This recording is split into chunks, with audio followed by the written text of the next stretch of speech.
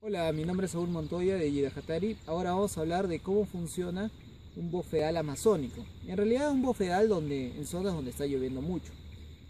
Entonces estamos acá en la ciudad de Tarapoto y estamos en sí en un bofedal que es una zona donde el nivel freático está a nivel de superficie, donde nosotros tenemos eh, una capa de materia orgánica, tenemos una capa de raíces, de materia orgánica muerta y de plantas.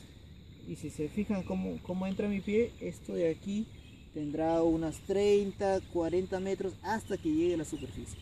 Debajo de esta materia, de, este, de esta toba orgánica, existe lo que son arenas. Y son arenas cuarzosas, son arenas que tienen muy poco finos por el mismo hecho de que aquí ha llovido bastante y se ha lixiviado todos los finos. La conductividad eléctrica de estos sitios está en alrededor de 150 a 200 milisiemens, pero más que todo debe estar en el orden de los 150 milisiemens y los sólidos totales disueltos están en 75 ppm.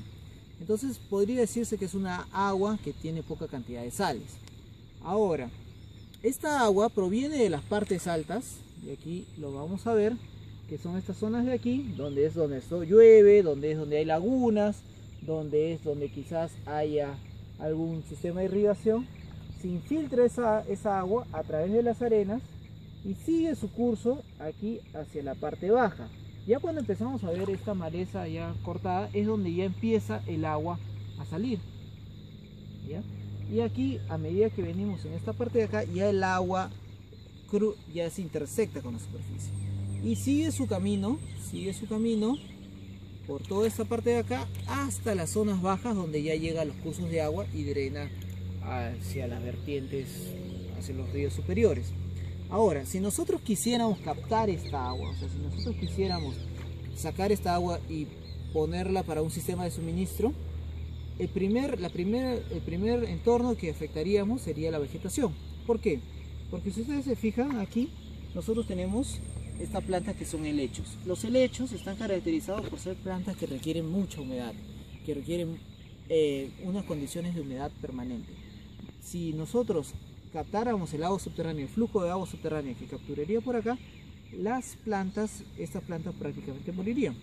Bueno, ¿por qué? Porque nosotros estaríamos captando todas las condiciones de humedad que permiten que esta planta esté acá.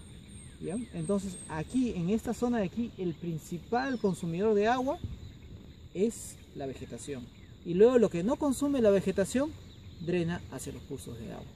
Bueno, quizás con esto hayamos hablado un poco más y tenga un poco más claro de cómo es el sistema hidrogeológico de un pantano amazónico. Muchas gracias.